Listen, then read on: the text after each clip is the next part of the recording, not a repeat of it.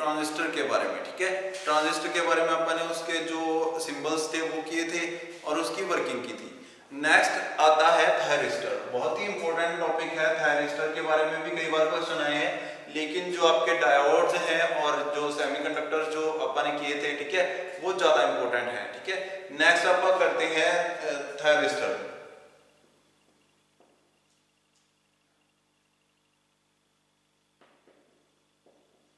Thyristor जो होते हैं, अब इसके अंदर क्या होता है? ट्रांजिस्टर अपन ने पढ़ा था ट्रांजिस्टर के अंदर थ्री जो होते हैं, वो आपके मटेरियल्स होते हैं और दो जंक्शंस बनते हैं। इसके अंदर आपके तीन जंक्शंस बनते हैं और चार मटेरियल्स जो है, चार मतलब के पी एन पी एन और एन पी एन पी ठीक है? ऐसे ये क्या होते हैं? अलग अलग मटेरियल्स इसके अंदर ऐड किए जाते हैं। ठीक है? इसको बोलते हैं एस सी आर भी बोलते हैं। क्वेश्चन आता है what is S C R ठीक है? तो ये आर का मतलब भी थायरिस्टर होता है और इसका फुल फॉर्म आएगा silicon silicon controlled rectifier controlled rectifier silicon controlled rectifier ठीक है? तो ये silicon controlled rectifier rectifier question आ सकता है। तीन क्वेश्चन आ सकते हैं आपको। What is SCR what is rectifier what is thyristor ठीक है? तो तीनों का आंसर सेम होएगा। तो ये होते हैं a four layer a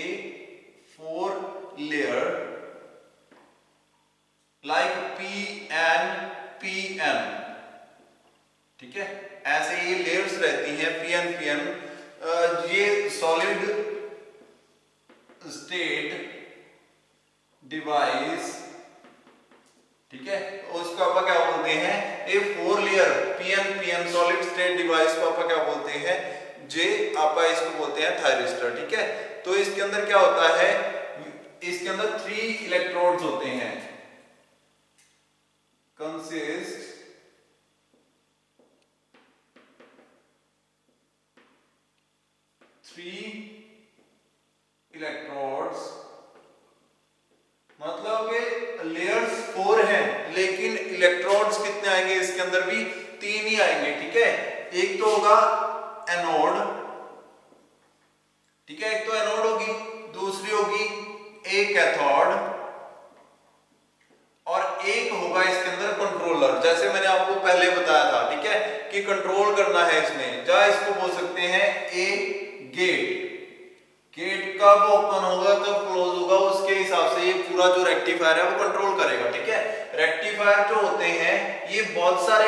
आते हैं लाइक वो कंट्रोलिंग किसी चीज़ का कंट्रोल करना हो, ठीक है? कंट्रोलिंग का काम भी रेक्टिफायर करते हैं और जो आपका अगर आपने किसी को सप्लाई को जो है एसी से डीसी में कन्वर्ट करना है तो रेक्टिफायर से आप वो भी कर सकते हैं।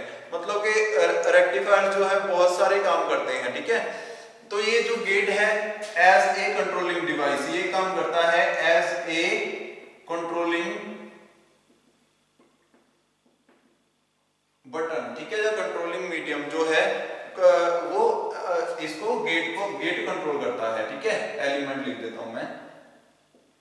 ये वर्क करते हैं, ठीक है? तो तीन चीज़ें होती हैं, इसके अंदर तीन टर्मिनल्स होते हैं।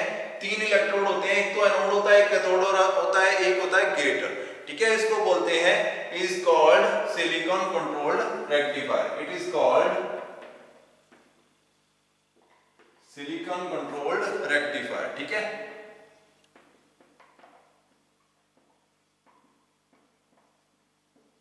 रेक्टिफायर अब यहाँ पे क्या होता है? सिलिकॉन कंट्रोल्ड रेक्टिफायर जो होते हैं, इसके अंदर चार टर्मिनल्स हो गए, ठीक है?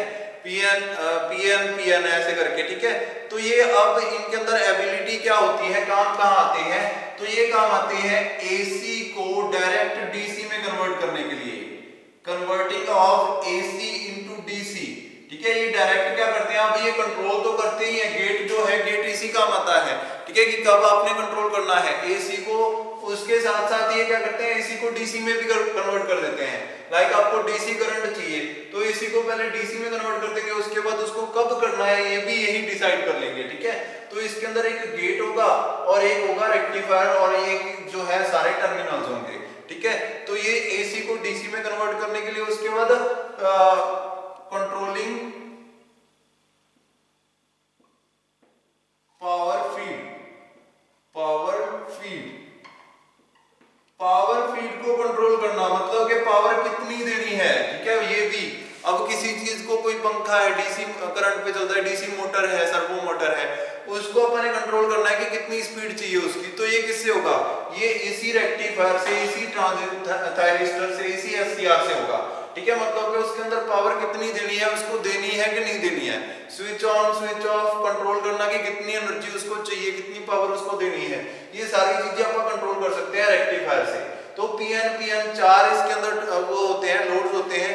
और कहाँ कहाँ ये कंट्रोल होती है काम करती है? Like time relay circuits regulated power supplies static switches motor controls जैसा कि मैंने आपको बताया। ठीक है इन्वर्टर्स हीटर और सारी चीज़ें यहाँ पे भी कंट्रोलिंग आ गई। हीटर को कंट्रोल करना है तो भी यही काम करेगा, ठीक है? सारी चीज़ें यहाँ पे भी कोई रिले आती है ना रिले कहीं भी यूज़ होती है, वो सारी रिलेज के अंदर यही होते हैं ऐसी होते हैं सिलिकॉन कंट्रोल रेक्टिफायर्स होते हैं, ठीक है? इसकी कंस्ट्रक्शन आएगी कंस्ट्रक्शन कैसी होती है? तो कंस्ट्रक्शन इसके अंदर क्या होता है? यहाँ पे एक सर्किट बेस होता है, एक सिस्टम होता है अरेंज लाइक उसके अंदर क्या क्या चीज़ें आ जाती हैं? सबसे पहले उसकी चार लेयर्स होती हैं वन थ्री एंड फोर ठीक है? फोर लेयर्स होती हैं उसके अंदर। फोर लेयर्स के अंदर सबसे ऊपर क्या होता है? P N P N like ठीक है? पी एन पी एन तो यहाँ पे एक मटेरियल है पी जिसके सबसे ज़्यादा इलेक्ट्रॉन्स हैं। उसके बाद जो है इलेक्ट्रॉन्स की कमी है सॉरी होल्स ज़्यादा है, फिर इलेक्ट्रॉन्स ज़्यादा है, फिर होल्स ज़्यादा है, फिर इलेक्ट्रॉन्स ज़्यादा ऐसे लेयर्स बनी हुई है, ठीक है? तो यहाँ पे आता है एक जो पी के साथ कनेक्टेड है, एक इलेक्ट्रोड यहाँ पे दूसरा इलेक्ट्रोड और यहाँ पे एक तीसरा इलेक्ट्रोड जैसा कि मैंने आपको बताया था, वो यहाँ पे होता है, बिल्कुल इसके ऊपर पी वाली साइड ठीक है? यहाँ पे एक तीसरा इलेक्ट्रोड होता है। तो यहाँ पे क्या है? अब गेट है एक एक कैथोड है एन के साथ जो भी एन मतलब के नेगेटिव नेगेटिव के साथ कैथोड पी मतलब पॉजिटिव पॉजिटिव को एनोड ठीक है? और यहाँ पे ये क्या आ गया? एक गेट गेट ये डिसाइड करेगा कि कितना करंट क्रॉस कराना है, कितनी एनर्जी पावर सप्लाई देनी है फीडिंग कंट्रोल करेगा ये, कितनी पावर सप्लाई देनी है और कितना जो है उसका वर्किंग होनी है। तो सबसे पहले आपको पता होना चाहिए थायरिस्टर की कंस्ट्रक्शन कैसी होती है। इसके अंदर चार वो होते हैं पी एन पी एन ठीक है? और जो नीचे, सबसे नीचे जो एन है, उसके साथ कैथोड कनेक्टेड होती है और उसके ऊपर जो पी है, उसके साथ गेट कनेक्टेड होता है। सबसे ऊपर जो पी है उसके साथ एनोड कनेक्टेड होता है। नेक्स्ट क्वेश्चन आता है सिंबल सिंबल कैसा होता है इसका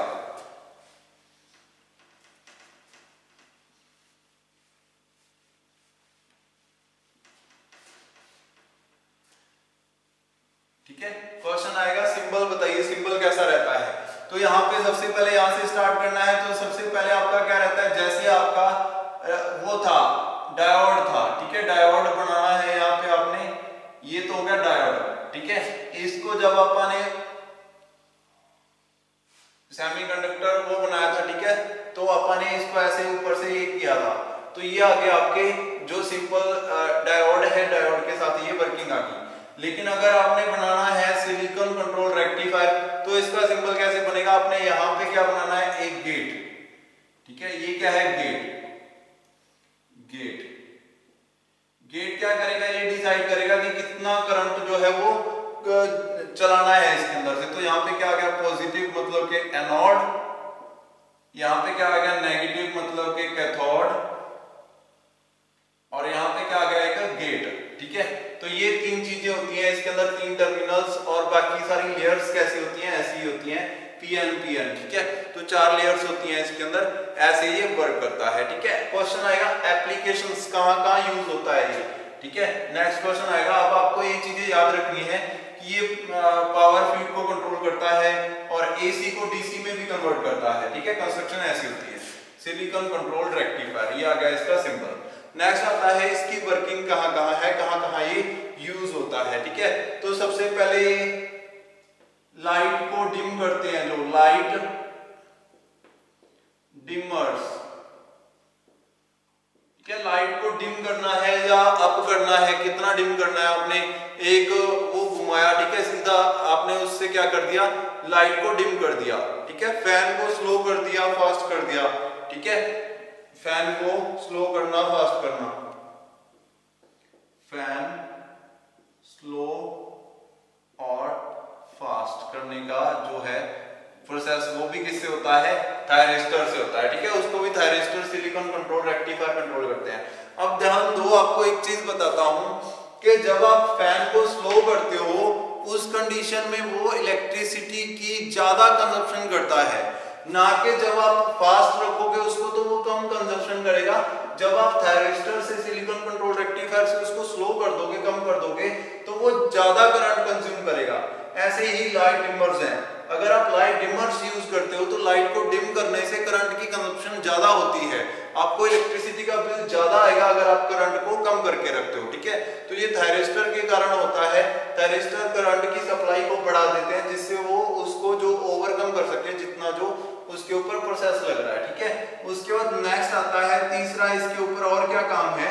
सर्वो मोटर्स के अंदर जाओ मोटर्स के अंदर जो है स्पीड रेगुलेशन के लिए मोटर स्पीड रेगुलेशन। कितनी स्पीड कम या ज़्यादा करनी है तो वो भी किससे होता है? थायरिस्टर से, सिलिकॉन कंट्रोल रेक्टिफायर से। मोटर की स्पीड, वो तो फ़ैन के अंदर ही आ गया, ठीक है? फ़ैन में भी मोटर्स होती है, ठीक है? उसके बाद ये बैटरी चार्जिंग सर्किट के अंदर भी यूज़ होती है। Automatic battery charging circuit automatic battery charging circuit के अंदर भी आप क्या यूज़ करते हैं सिलिकॉन कंट्रोल रेक्टिफायर यूज़ करते हैं ये सारी इसकी एप्लीकेशन है क्वेश्चन आएगा कि what are the applications of thyristor ठीक है? तो थायरिस्टर का यूज़ होता है? ये आ, उसके अंदर यूज़ होता है इन सब चीज़ों के अंदर ठीक है? उसके बाद इमरजेंसी के अंदर लाइट्स को बंद करना पड़ जाए लाइट्स को ऑन करना पड़ जाए तो इमरजेंसी कंडीशन में जो लाइट्स होती हैं उसके अंदर भी यही यूज़ होता है इमरजेंसी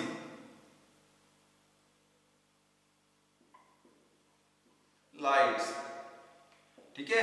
लाइट कोई इमरजेंसी लाइट होती है कहीं जलती है, कोई सायरन बजता है, ठीक है? कहीं ना कहीं आग लगी है, वहाँ पे सायरन बजते हैं लाइट्स जलती हैं या कुछ और ऐसी चीज़ें होती हैं, ठीक है? उन सभी के अंदर भी यही यूज़ होता है थायरिस्टर सिलिकॉन कंट्रोल्ड रेक्टिफायर ठीक है? तो उसके बाद और बहुत सारी चीज़ें हैं लाइक रेगुलेशन कहीं भी हो इलेक्ट्रिसिटी की तो ये थायरिस्टर के कारण होती है, ठीक है? हीट कंट्रोलिंग किसी चीज़ को हीट जब ओवर हीट हो जाए तो अपने आप कंट्रोल करे। तो ये सारी चीज़ें कहाँ होती हैं आपकी? Silicon control rectifier like thyristor के अंदर होती हैं, ठीक है? उसके बाद आता है ये एप्लीकेशन कैसे काम कैसे करता है? Principal of thyristor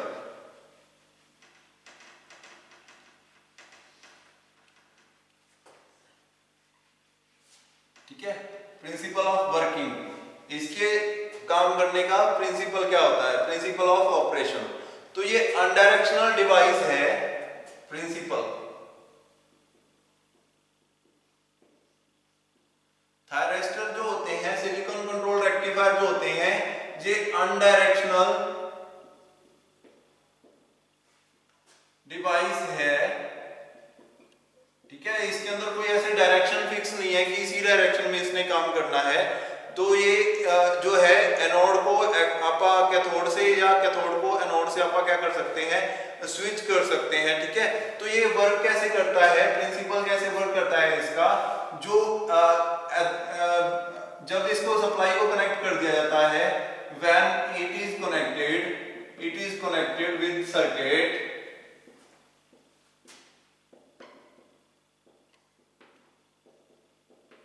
that is cathode with cathode negative जो है circuit negative supply and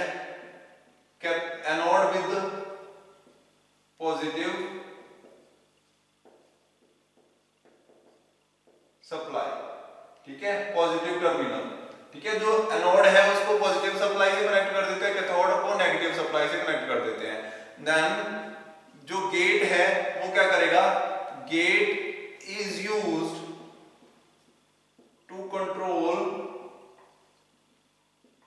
the supply supply को कंट्रोल करने के लिए क्या यूज़ करेंगे अपन सप्लाई ऑफ़ लोड या वोल्टेज ठीक है कितनी वोल्टेज सप्लाई करनी है वो कैसे डिसाइड करेंगे विद द गेट ठीक है तो गेट के कारण ही वो क्या करेगा आपका वर्क करेगा वो सारा जो है लोड को ट्रांसफ़र करेगा, ठीक है? तो इस चैप्टर के अंदर इतनी ही चीज़ें हैं सिलिकॉन कंट्रोल रेक्टिफायर आपको आएगा सर्वो मोटर को किया जाता है तो सर कोई भी मोटर आ जाए, ठीक है, उसको कंट्रोल करने के लिए कौन सी डिवाइसेस यूज़ की जाती हैं तो उसके लिए सिलिकॉन कंट्रोल रेक्टिफायर यूज़ किए जाते हैं, जिसके अंदर पीएन पीएन जंक्शन होते हैं, तीन, यहाँ पे तीन जंक्शन हैं, एक, दो, तीन जंक्शन हैं, और इसके अंदर तीन जो है, आपके क्या रहते हैं इलेक्ट्रोड रहते हैं एनोड कैथोड और गेट ठीक है, इनसे ही आप कंट्रोल करते हो टायरिस्टर को ठीक है सॉरी सप्लाई को। अब आपको मैंने बताया कि आप रिमोट से आपने क्या कर दिया? लोड इंक्रीज कर दिया किसी का। मतलब कि किसी सप्लाई के अंदर क्या कर दिया आपने? जैसे कोई बल्ब है, उसको तेज या स्लो करना रिमोट से। ठीक है? आपने क्या किया? रिमोट से ही उसके अंदर कोई ऐसी चीज़ इंक्रीज या डिक्रीज कर दी। ठीक है, कोई वॉल्यूम इंक्रीज करते हैं, कोई हीट बढ़ाते हैं रिमोट से, ठीक है? तो ये सारी चीज़ें जितनी भी हैं हीटर से आप रिमोट से हीटर को कंट्रोल करते हो, या हीटर के ऊपर जो आपके बटन दिए होते हैं, उस बटन से आप उसकी हीट को बढ़ा देते हो, ठीक है? वो सारी चीज़ें वो क्या होती हैं, वो गेट के कारण होता है। वो जो बटन है, वो गेट है, ठीक है? उसके कारण उसको पता चलेगा कि कितनी सप्लाई को इंक्रीज करना है। और उसी के हिसाब से जो सप्लाई है वो बढ़ती और कम होती जाएगी, ठीक है? ये सारी चीज़ें आपकी कंट्रोल होती हैं थायरिस्टर से, ठीक है? तो आपने पढ़ा आज थायरिस्टर के बारे में, ठीक है? उससे पहले आपने डायोड्स के बारे में पढ़ा था, ठीक है? और ये सारी चीज़ें आपकी बहुत इंपॉर्टेंट हो जाती हैं जब आपका एक क्वेश्चन है जिनर डायोड बहुत ही इंपॉर्टेंट है वो भी। जिनर डायोड अपन जिनर वोल्टेज पढ़ी थी, ठीक है?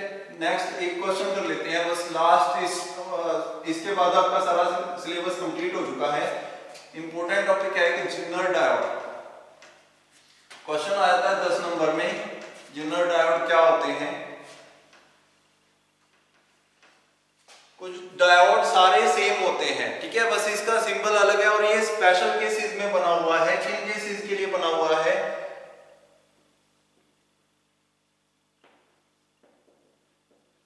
ठीक है डायोड सारे सेम होते हैं उनके जो डायग्राम थे वो भी अपन ने बनाया था ठीक है डायग्राम ऐसा ही रहता है लेकिन जो जिंगर डायोड है इसके केस में क्या रहेगा सिंबल थोड़ा सा अलग होगा यहाँ से ऐसे और यहाँ से ऐसे ठीक है ये होता है जिन्नर डायोड जी बना रहता है यहाँ पे, ठीक है जी जिन्नर जी फॉर जिन्नर जिन्नर डायोड का ये वाला सिंबल रहता है और जिन्नर डायोड के बारे में क्या रहता है कि किस केस में ये कब वर्क करता है? ये करता है जब आपके ब्रेक डाउन रीजन हो मतलब कि ऐसा सिस्टम हो कि इलेक्ट्रिसिटी जो है ब्रेक कर गई आगे से।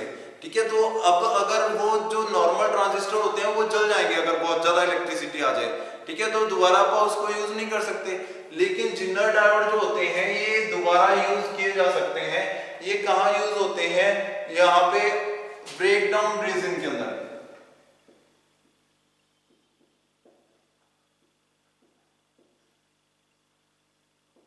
मतलब कि अगर तो वो नॉर्मल ट्रांजिस्टर होता, वो क्या करता? है जब वो जल गया, वो सारी इलेक्ट्रिसिटी को ट्रांसफ़र करवा देता। लेकिन अगर वहाँ पे जिनर डायोड है तो वो क्या करेगा? ब्रेक डाउन कर जाएगा, ठीक है? यहाँ पे ब्रेक डाउन की रिक्वायरमेंट है मतलब कि फ्यूज की तरह वर्क करे, कि इतनी इलेक्ट्रिसिटी वापस आ रही है तो कोई दिक्कत नहीं है। लेकिन यहाँ पे जिनर वोल्टेज जब उसको ब्रेक करना है, ठीक है? तब वो जब वोल्टेज आ जाती है ब्रेक डाउन रीजन आ जाता है तब वो क्या करना है, उसको ब्रेक कर जाना है। मतलब कि जिनर डायोड टूट जाएगा और इलेक्ट्रिसिटी को ट्रांसफ़र होने से रोक लेगा, ठीक है? मतलब कि अपोजिट डायरेक्शन में इलेक्ट्रिसिटी नहीं आनी चाहिए। अगर नॉर्मल डायोड होता, वो क्या करता? जल जाता और सारी इलेक्ट्रिसिटी को उसमें से ट्रांसफ़र करवा देता। जो रिवर्स वोल्टेज है रिवर्स इलेक्ट्रिसिटी है, जो लीकेज है इलेक्ट्रिसिटी की, वो उसको झेल नहीं पाता। लेकिन जिनर डायोड ये क्या करता है ये वो ब्रेक डाउन वोल्टेज होती है। इसकी और ये ब्रेक कर जाता है, ठीक है? तो ये सिलिकॉन से बने रहते हैं सारे, लगभग सिलिकॉन से ही बनाते हैं अपन तो सिलिकॉन डायोड है ये। जो के बनाया जाता है एक्सट्रीम हैवी कंडीशंस के अंदर, यहाँ पे ब्रेक डाउन की ज़रूरत है, ठीक है? ब्रेक डाउन के लिए बनाया जाता है, बाकी सारी चीज़ें सेम रहेगी, सिर्फ़ सिंबल इसका ये वाला है, ठीक है? बाकी जितना भी डायोड के बारे में पढ़ा था, अपन पीएन जंक्शन के बारे में पढ़ा था, बाकी सारी चीज़ें सेम है, ठीक है? ये क्यों डिज़ाइन किया जाता है ताकि शार्प ब्रेक डाउन वोल्टेज पर जाकर ये ब्रेक कर जाए? It is design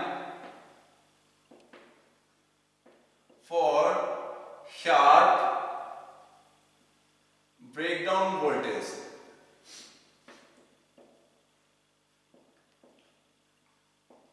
कि इतनी वोल्टेज के ऊपर अगर अपोजिट डायरेक्शन में वोल्टेज आ रही है तो वो क्या करेगा? ब्रेक कर जाएगा, वो टूट जाएगा, ठीक है? तो ये है आपका जो जिन्नर डायोड ठीक है? जिन्नर वोल्टेज ऐसी वोल्टेज जिसके ऊपर जाकर इसको वर्क करना है, ठीक है? तो ये होते हैं आपके जिन्नर डायोड कई बार जिन्नर डायोड के बारे में 10 नंबर का क्वेश्चन आया था तो आपने डेफिनेशन लिख के उसके बाद क्या करना है? बाकी सारा जो डायोड के बारे में अपन ने पढ़ा था सेम ही है. सब चीज़ें सेम है इसके अंदर. तो ये क्या करता है? ये सिर्फ़ उन कंडीशंस के अंदर वर्क करता है. यहाँ पे ब्रेक डाउन वोल्टेज बहुत ही शार्प चाहिए आपको, ठीक है? तो इसके अंदर इसकी एप्लीकेशंस क्या क्या है? ये वोल्टेज स्टेबलाइजर का काम करता है मतलब कि वोल्टेज बहुत ज़्यादा ऊपर नीचे हो रही हो. तो उसको स्टेबलाइजिंग करने के लिए अपन इसका यूज़ करते हैं और ये प्रोटेक्शन के लिए भी यूज़ होता है, ठीक है? प्रोटेक्शन मतलब क्या ऐसा कि अगर अपोजिट डायरेक्शन में बहुत ज़्यादा हैवी लोड आ रहा है तो ये जल जाएगा, ठीक है? तो ये प्रोटेक्शन के लिए भी यूज़ होता है। तो ये हो गया आपके जिन्नर डायोड ठीक है? नेक्स्ट अपा ये जो है आपकी सिलेबस भी ट्रिपली का ये कंप्लीट हो चुका है। कुछ ऐसे टॉपिक अगर कोई बीच में रह गया होगा तो आप उसको करते जाएँगे साथ के साथ। आज के लिए इतना ही। Thank you